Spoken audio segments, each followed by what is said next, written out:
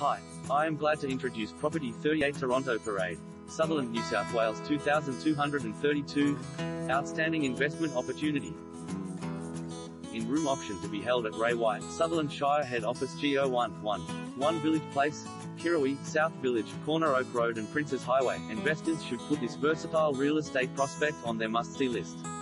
Behind this property's classic weatherboard facade lies a neat and tidy, well-presented three-bedroom home with the addition of a private and separately metered one-bedroom, fully equipped granny flat.